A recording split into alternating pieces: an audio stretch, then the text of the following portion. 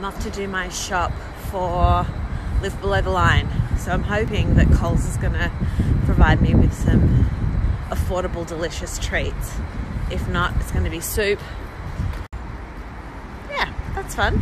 And also, the real kicker is that girlfriend's going to be on her period. So you know her chocolate cravings are going to be through the roof. So yeah, it's going to be a fun week. Wish me luck, uh, and I'll see you in Coles.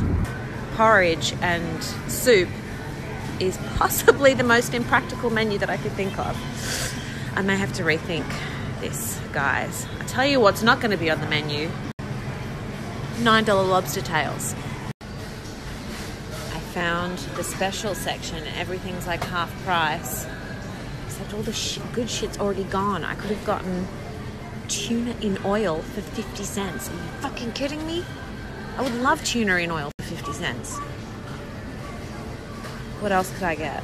I could make a I could make a tomato soup with this. This is only like two this is only 290. There's evil ramen down there. Shit guys, this is gonna be tough. Alright, I'm eating overpriced salad and drinking red wine while I can. Because I got a whole day of eating left. I went shopping. Went to Coles. This is my haul. Obviously, ignore the red wine. that won't be being consumed. But I ended up spending $14.62. So I'm going to have to ditch a couple of things, unfortunately. I got bananas, apples, carrots, potatoes, oats, continental Cass here. What the fuck is that? Oh, I think it's, I think it's this. I think it's noodles, like packet noodle soup. Um, Patak simmer sauce. I can't show you that because my phone's leaning on it. Um, rice. You know what rice looks like.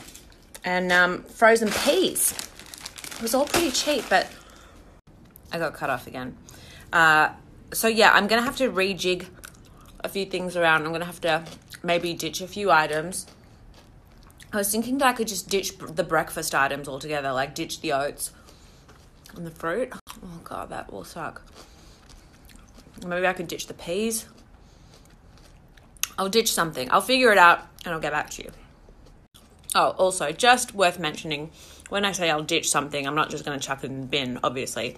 I will consume it, just not during the challenge week. Um, or I might even return it. But knowing me, I'll probably just consume it. Okay.